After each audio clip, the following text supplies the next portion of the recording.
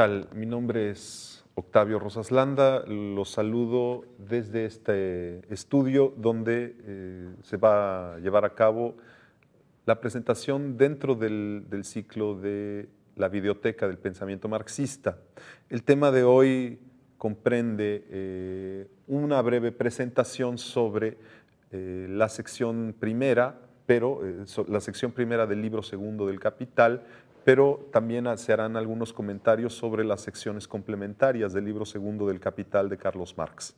Eh, lo primero que hay que decir es que eh, el libro segundo del Capital fue, eh, como ustedes lo saben, el último texto que escribió Marx de los tres libros del Capital, los manuscritos del libro segundo corresponden a los últimos manuscritos que fueron escritos por Marx de, esta gran obra y este, debido a su muerte fueron editados por Federico Engels. Eh, por lo tanto, mucho del texto que ustedes pueden leer en el libro segundo del Capital eh, es básicamente la edición que realizó Engels del trabajo que su amigo de toda la vida había realizado y que no logró completar. Eh, el libro segundo lleva por título, eh, el, todo el libro segundo lleva por título el proceso de circulación del capital. Y esto es importante decirlo porque en este segundo libro, a diferencia del libro primero, cuyo título es El proceso de producción del capital, eh, Marx se adentra en la fase, en lo que se conoce como el ámbito o la esfera de la circulación y en esta medida eh, resulta muy importante porque aquí existe una liga, una conexión entre lo que se conoce como el proceso de circulación, que está dividido en varias etapas o fases, pero que al mismo tiempo esto se identifica o Marx lo identifica como el proceso de reproducción. Es decir, el objetivo del libro segundo del Capital de Marx va a ser no solo mostrarnos cómo es que el capital circula entre las distintas fases y cómo cada una de las fases tiene una forma específica de aparecer del capital como forma dineraria, como forma productiva, es decir, como elementos eh, de la producción, fuerza de trabajo y medios de producción, y como forma mercantil que ha de ser vendida en el mercado sino que además cada una de estas etapas tiene que cumplir una función. La función de cada una de estas etapas, es decir, la adquisición de los medios de producción y la fuerza de trabajo en el mercado, y al mismo tiempo o, posteriormente la producción propiamente dicha, que es eh, el núcleo de la exposición del primer libro del Capital, este, para después pasar a eh, la fase tercera, a la fase de la venta de las mercancías que ya contienen plusvalor y cómo este plusvalor vuelve a ser introducido en el proceso de circulación para que el capital se reproduzca. Lo importante de este, de este planteamiento general del libro segundo de Marx tiene que ver con el hecho de que eh, el proceso de circulación de capital tiene que, tiene que, ocurrir en estas fases sucesivas y por lo tanto tienen que cumplirse a cabalidad cada una de las fases. La compra de eh, los elementos de la producción, la producción misma y luego la venta de las mercancías que ya vienen con, eh, con plusvalor explotado a la clase obrera para que este proceso vuelva a comenzar. De lo que nos está hablando entonces Marx es de un ciclo, está describiendo un círculo, pero al mismo tiempo, como se está produciendo plusvalor en cada uno de estos ciclos, lo que está describiendo Marx es la reproducción, cómo es que el capital produce capital y cómo es que el capital se vuelve a producir en cada uno de estos ciclos. Esta este camino circular nos lleva a pensar que si la producción está subordinada al capital, pero también la circulación está subordinada al capital, esto está implicando a su vez que la reproducción de la sociedad está subordinada a la reproducción del capital. Dicho de otro modo, lo que Marx intenta plantearnos a lo largo de todo el segundo libro del Capital va a ser básicamente que para que la sociedad pueda reproducirse, la prioridad de la reproducción de la sociedad, es decir, que la gente coma, que la gente tenga un buen nivel de vida, que la gente tenga elementos suficientes para su subsistencia, esto tiene que subordinarse primero a la prioridad de que el capital se desarrolle y se reproduzca. Es decir, que primero, que, lo más importante en la sociedad capitalista sea que se reproduzca el plusvalor y que este plusvalor se realice en el mercado a través de la venta de mercancías y posteriormente que la sociedad se reproduzca o se reproduzca a medias o se reproduzca mal.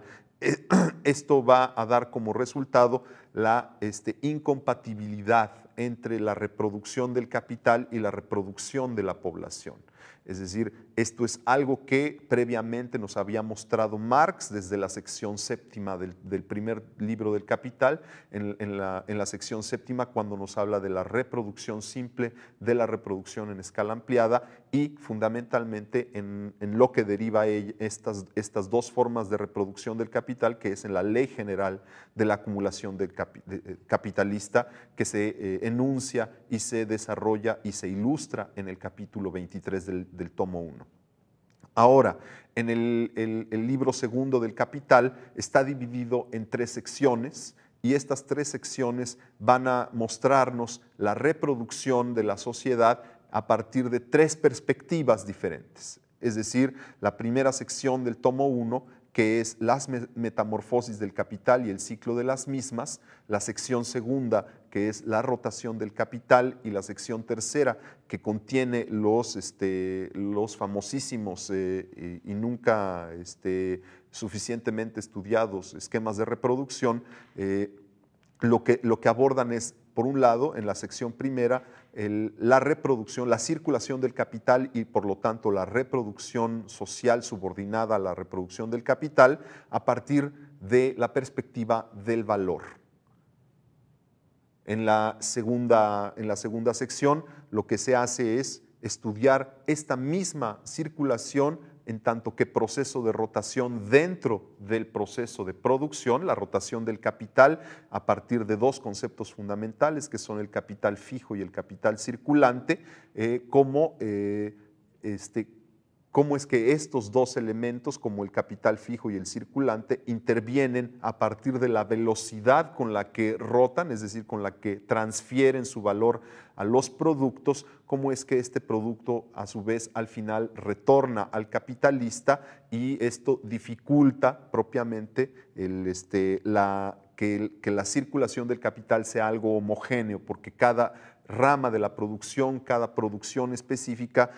produce o requiere primero elementos de producción de cualidad, de valor de uso diferentes, pero que posteriormente tienen que ser este, homogenizados o tienen que ser armonizados objetos cuyo valor de uso son diferentes en un tiempo de rotación que le sea adecuado al capital. Y por, eh, por último, en la tercera sección,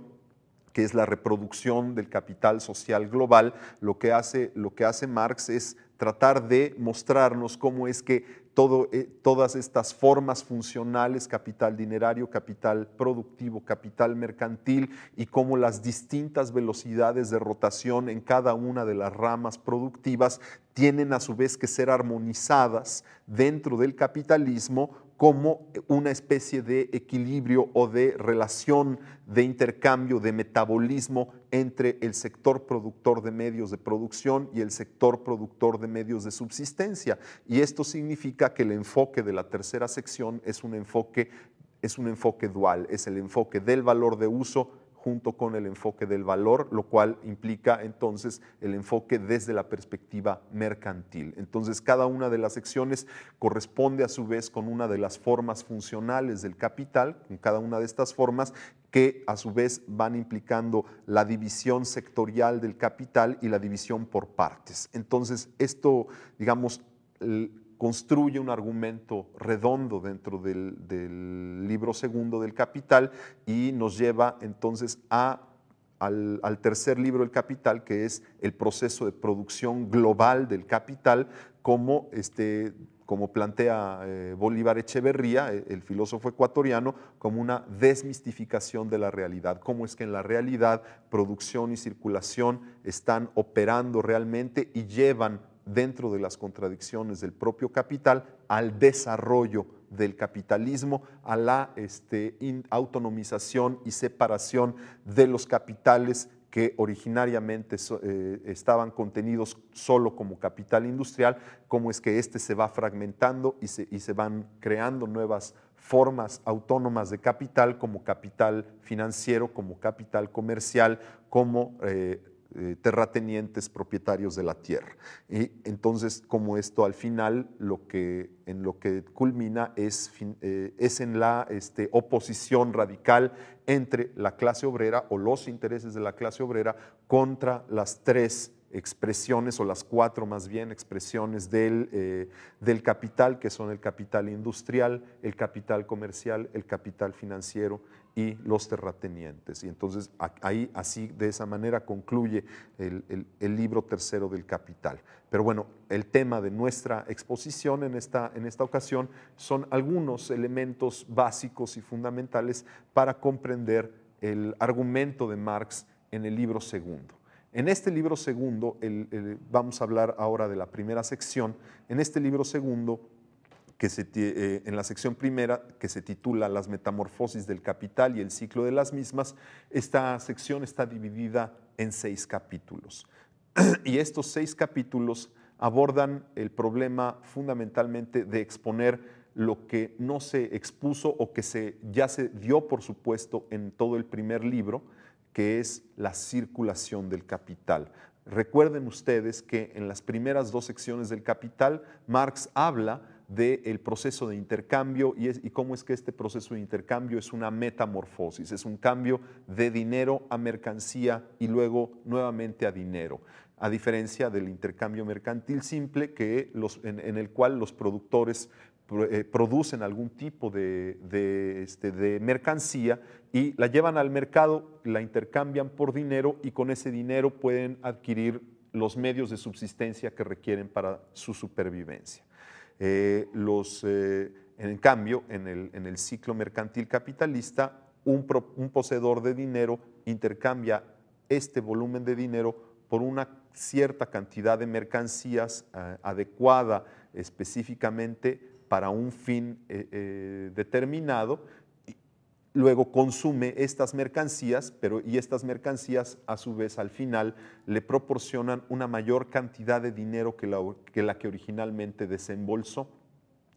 Este ciclo mercantil capitalista está implicando, es más, está ocultando, nos dice Marx, el hecho de que el consumo de esas mercancías específicas eh, es el secreto que nos permite entender de dónde proviene la plusvalía que el capitalista se apropia finalmente. Y estas mercancías son eh, o es básicamente la mercancía fuerza de trabajo. Es la mercancía fuerza de trabajo que el capitalista adquiere y consume productivamente en el proceso productivo, que es la que genera el plusvalor del cual el capitalista se apropia. Esto es, este es el tema, el tema fundamental del libro primero, y lo que va a hacer Marx a continuación va a ser eh, explicarnos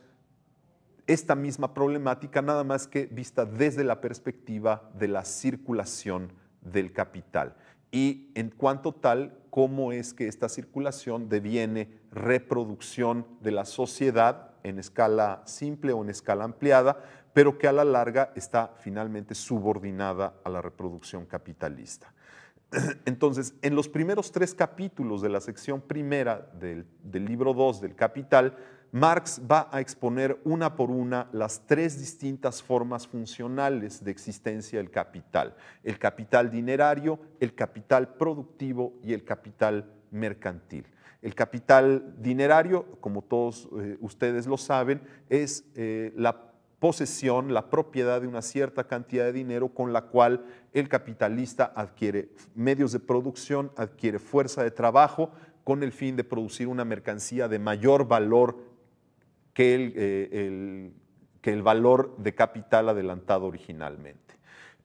A su vez, la tercera, eh, como tercera etapa, el, capitalista tiene que regresar al mercado, ahora a vender esas mercancías, a realizar el plusvalor, a volverlo efectivo, para que entonces pueda volver a comenzar el ciclo. Esto es muy importante porque Marx nos da, eh, nos da a entender aquí la importancia de que el capital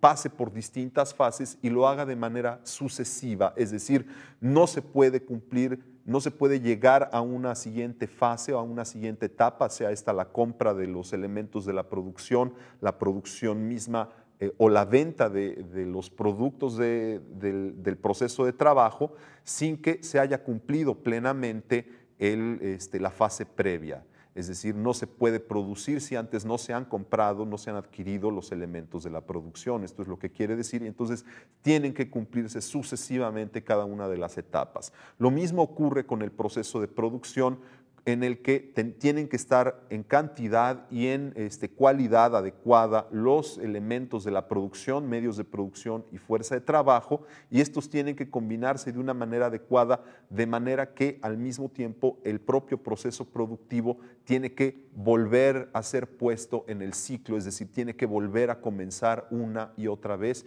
Y en el caso del, del ciclo del capital mercantil, lo que nos explica Marx es que cuando empieza el ciclo de capital mercantil, ya empieza con el capital valorizado, es decir, el capital mercantil comienza después de que se ha valorizado el capital, después de que se ha producido el plusvalor y comienza entonces desde la venta de las mercancías. Pero tiene que ser puesto una y otra vez para que toda, eh, de manera permanente o de manera continua pueda continuar el proceso productivo y el proceso de valorización algo que es eh, importantísimo mencionar aquí es que Marx nos plantea todo el tiempo que los tres ciclos del capital, es decir, que no hay un solo ciclo del capital, sino son tres ciclos del capital, estos tres ciclos existen básicamente para darle este, sustento y para darle continuidad a la valorización del valor, es decir, a la producción permanente, continua y sistemática de plusvalor, a la explotación de la fuerza de trabajo. Y como esta es la función de los tres ciclos del capital, que todo sea continuo, nos, plantea Marx aquí un problema. Y esto se plantea también en el cuarto, en el cuarto capítulo, donde Marx integra la, el análisis de los tres ciclos, es decir, ya no nada más el ciclo del capital dinerario, el ciclo del capital productivo o el ciclo del capital mercantil, sino que en el cuarto capítulo lo que hace Marx es explicarnos los tres ciclos en conjunto como una continuidad, es decir, los tres ciclos no operan uno al margen del otro, no solo ocurre una sucesión de las fases, sino que para que el capital pueda reproducirse adecuadamente, eh, digamos, para sí mismo, es decir, que, esta, que esto no se detenga porque pueden ocurrir este, obstrucciones, pueden ocurrir obstáculos que detengan, por ejemplo, la venta de las mercancías, que se haya sobreproducido, por ejemplo, y que sea imposible vender más mercancías en el mercado y esto obstaculiza la conversión de las mercancías en dinero y por lo tanto no pueden retornar al, bolsillo del capitalista para que las reinvierta en medios de producción y fuerza de trabajo, si llega a ocurrir esto, todo el ciclo se detiene y lo que tenemos es una crisis, como las, crisis recientes que ha vivido el mundo, América Latina en particular. Eh, esto eh, nos dice Marx, esto impone al capital este, digamos, no solo expresa una contradicción del capital en su proceso de circulación y de reproducción, sino que al mismo tiempo impone al capital una tarea no de resolver su contradicción, sino de neutralizar esa contradicción, desplazarla. Y esto va a significar que el capital, para poder funcionar como opera en la realidad en los tres ciclos al mismo tiempo, es decir, que el capital exista al mismo tiempo como capital dinerario, como capital productivo y como capital mercantil, eh, y esto lo podemos ver en la realidad, el capital se tiene que dividir. ¿De qué estamos hablando? Lo que estamos tratando de decir aquí, siguiendo el argumento de Marx, es que el capital como, como, ocurre todos los días y nosotros lo vemos cotidianamente, una buena parte del capital está eh, actuando como capital dinerario. Capitalistas que tienen dinero en el banco, que tienen dinero en los bolsillos y que este, lo utilizan para invertirlo en la adquisición de medios de producción o para el pago de los salarios de los trabajadores. Esto, es, eh, esto quiere decir que el capital tiene que existir de manera permanente también como capital dinerario, no solo pasar de capital dinerario a capital productivo y así sucesivamente, sino que al mismo tiempo una parte del capital tiene que eh, existir de manera fija o permanente como capital dinerario. Lo mismo ocurre con el capital productivo, es decir, que mientras esa, una parte del capital está fija como capital dinerario, otra parte está fija como capital productivo en la forma de medios de producción, maquinaria, edificios este, locales, que, este, todo el, que siguen siendo medios de producción y que tienen que existir todo el tiempo como medios de producción. Por otro lado, este,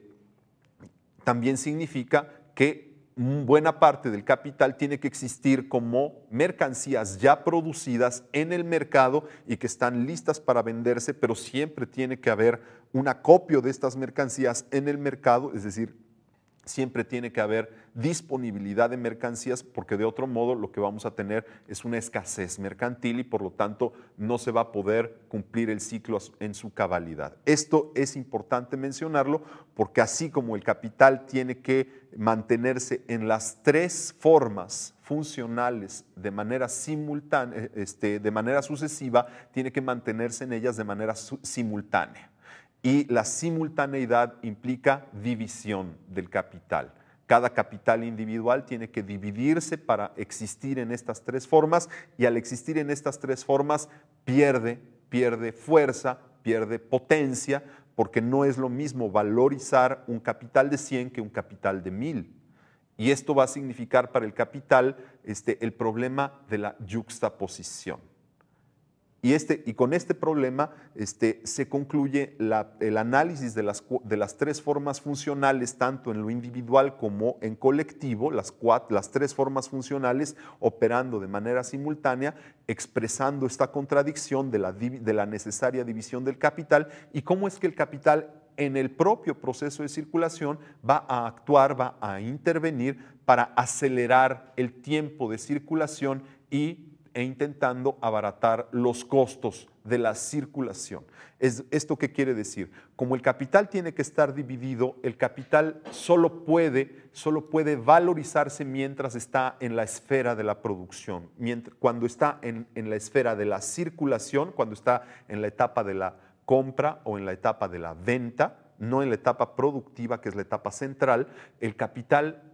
no se valoriza, es decir, solo se valoriza cuando se le agrega trabajo y cuando se modifica el valor de uso del eh, objeto de trabajo con los medios de trabajo. Es decir, cuando los medios de producción están absorbiendo fuerza de trabajo, es cuando existe el proceso de valorización. En el tiempo de circulación, es decir, cuando las mercancías están en los anaqueles de las tiendas esperando a ser vendidas, ahí no se está valorizando el capital. Ese es un tiempo muerto. Por lo tanto, en, en el tiempo de circulación, el capital tiene que intervenir para acelerar el tiempo de circulación, hacer que las mercancías circulen de manera más rápida y esto significa dedicar una gran cantidad de fuerzas de trabajo y medios de producción para agilizar la circulación, es decir, para la venta. Y entonces los capitalistas tienen que, este, contratar grandes cantidades de trabajadores dedicados única y exclusivamente a la venta de las mercancías. Y esto, esto significa un, tiempo de no valorización y un gasto que es un costo para, para la circulación del capital, pero que es un costo indispensable porque de otro modo las mercancías podrían seguir indefinidamente en el mercado sin ser vendidas y esto el capital no puede darse el lujo porque si, este, si permanecen demasiado tiempo no regresa el capital al proceso productivo y no hay más valorización. Esto es muy importante decirlo.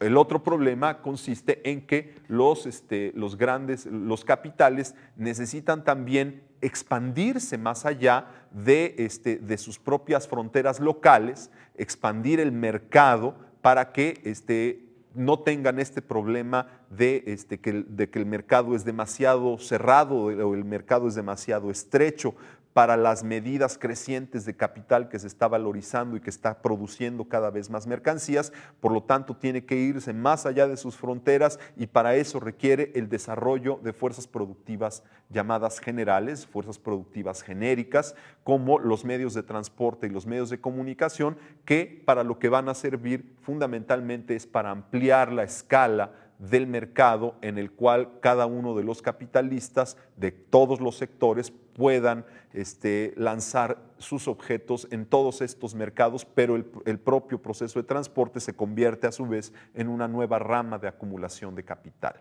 Esto, eh, esto lo indica Marx en el capítulo sexto,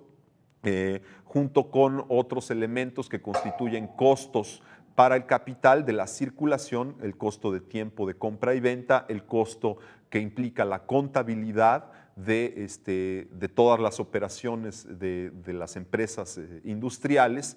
y por último los costos de transporte que nos dice Marx son extraordinariamente importantes porque van a servir no solo para ampliar la medida de los mercados, sino al mismo tiempo porque el propio transporte genera valor y genera plusvalor. Entonces, eh, al término de la sección primera del, segundo libro del Capital, Marx nos deja con un planteamiento. Los costos de transporte o los costos de la circulación es un modo de intervenir del capital en la esfera de la circulación para acelerar esta, eh, la ocurrencia de cada uno de los ciclos, que, los ciclos eh, vayan sucediéndose una y otra vez de manera cada vez más acelerada, pero lo que no puede hacer el capital o no podía hacer hasta cierto punto era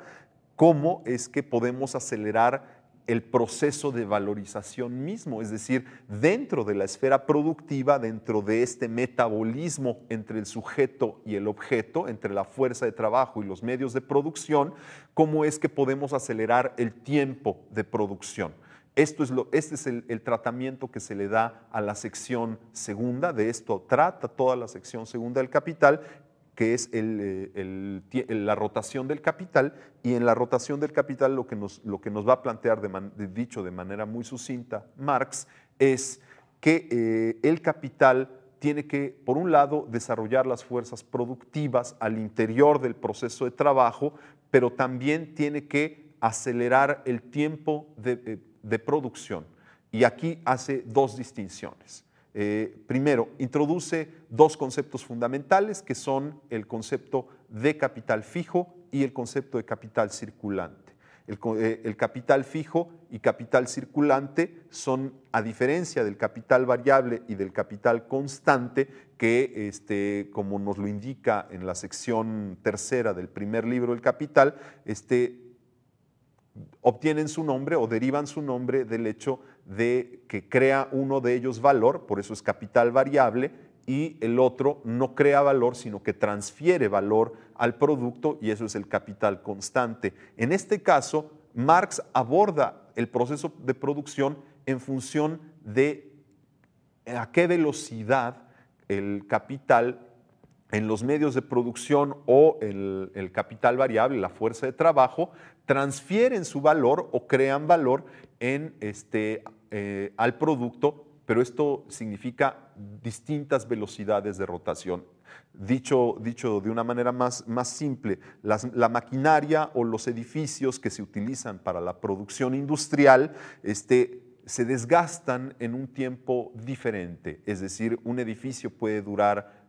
décadas, puede durar cientos de años inclusive, mientras que eh, la materia prima o las herramientas de trabajo o los instrumentos, la maquinaria, pueden durar algunos de ellos años o meses o semanas o incluso horas. Y esto significa, por lo tanto, que, cada uno de estos elementos de la producción tiene, por lo tanto, eh, una velocidad de rotación distinta. Un, este, un edificio eh, tardará muchos años en, este, circular eh, su valor, mientras que este, la materia prima se tiene que estar reponiendo de manera constante y por lo tanto a esto lo llama Marx el capital circulante porque su velocidad de rotación es mucho mayor y a los elementos de la producción que tienen una velocidad de rotación muy lenta lo va a llamar capital fijo.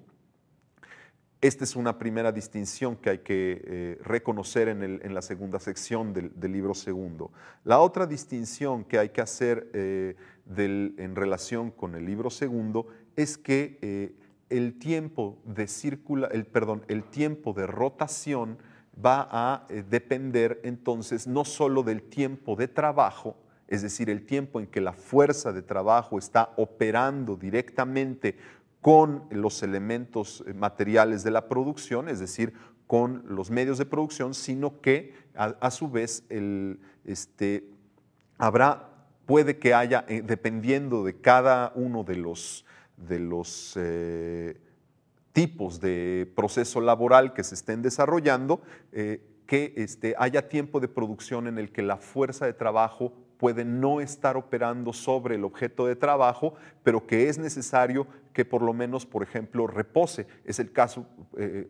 un, ejemplo, un ejemplo puede ser el vino que está en fermentación cuando no, no hay fuerza de trabajo actuando sobre la fermentación del vino, es la naturaleza misma la que lo hace, o bien el pan cuando, está, cuando se tiene que dejar que repose el pan con la levadura, que hagan, este, que hagan una mezcla ahí química y que este, eso haga que se eleve el pan, etcétera,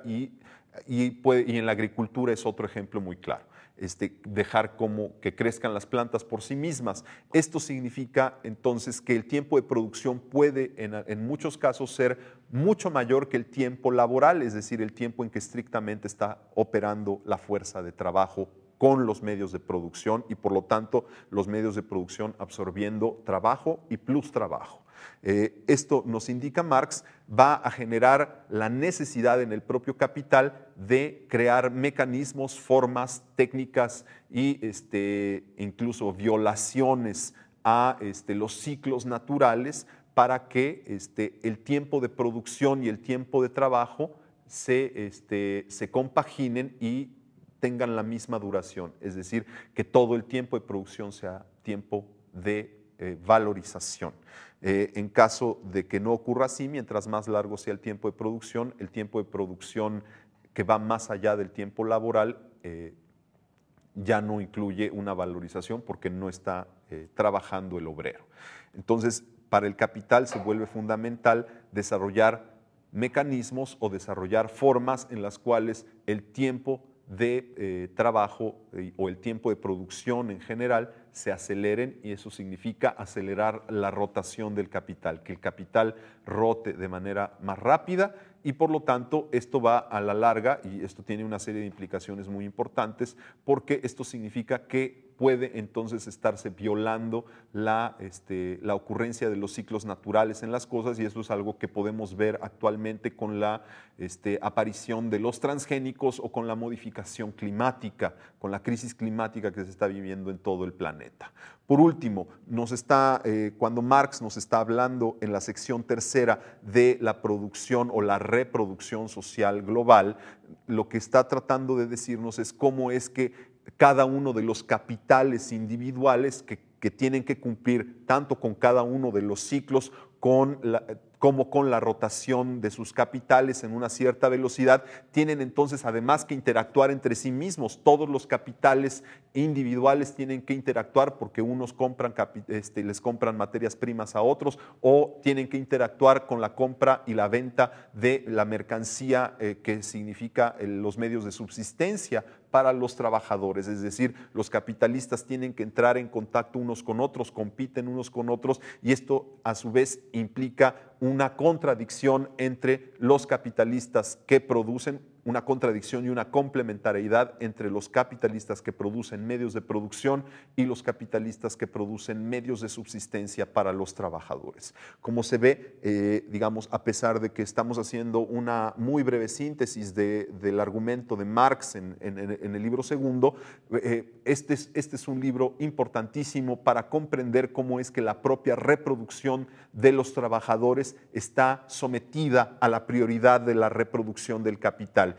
Y esto es muy importante que se entienda porque teóricamente significa que nuestra reproducción como trabajadores, como seres humanos, este, está dependiendo hoy de aquello que produce el capital y de que, y que nosotros como consumidores estemos todo el tiempo sometidos a este consumismo exacerbado. Eh, digamos, la publicidad es un mecanismo, este, es, un, es un costo en que incurre el capital para acelerar la rotación y por lo tanto nos bombardean todos los días con publicidad o todos los días estamos sometidos a la necesidad de estar comprando, comprando, comprando, más allá de lo que necesitamos, lo que el capital necesita que nosotros consumamos para que él se reproduzca. esto está, tiene una implicación política. Nosotros también como consumidores, no, no, solo como productores somos los creadores de la riqueza social, sino que como consumidores también necesitamos cuestionar aquello que nosotros mismos estamos produciendo y consumiendo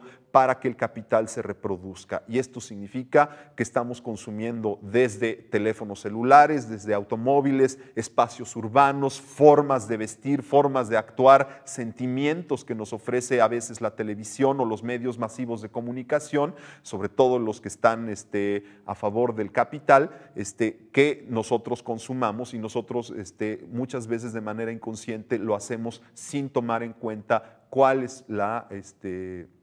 lo que está oculto, lo que está detrás, el interés que, está, que viene eh, soportando y empujando estas formas tanto de producción como de consumo que violan ciclos naturales, no solo en la naturaleza, sino en los seres humanos, es decir, ampliando los tiempos laborales de los, de los obreros para que haya tres turnos por día, haya 24 horas de trabajo y para eso se necesita luz eléctrica en las noches y para eso se necesita construir más presas hidroeléctricas, para eso se necesita todo un gran aparato productivo y además se va expandiendo en todo el planeta como mercado mundial y esto está llevando a una crisis de la salud, a una crisis ambiental, a una crisis económica general en la cual todos estamos involucrados. Entonces, digamos, dicho muy, muy resumidamente, este es el, básicamente el contenido de, los de, las tres secciones del segundo libro del Capital y con esto este, damos por concluida esta sesión de la videoteca del pensamiento marxista dedicada al segundo libro del Capital.